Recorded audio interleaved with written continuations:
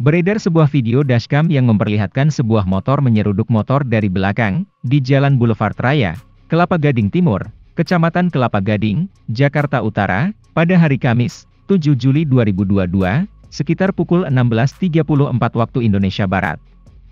Video yang dihimpun dari akun Instagram dashcam underscore owners underscore Indonesia, melalui rekaman video dashcam pengendara lain tersebut, memperlihatkan detik-detik sebuah motor yang menyeruduk pengendara motor lain dari belakang. Menurut informasi yang didapat, motor tersebut melaju dari arah selatan dengan kecepatan sedang.